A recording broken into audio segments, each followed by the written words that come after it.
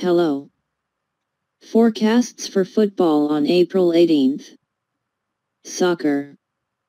Belarus Premier League. Bate Borisov v Torpedo Zhodino. Goals under 2.5.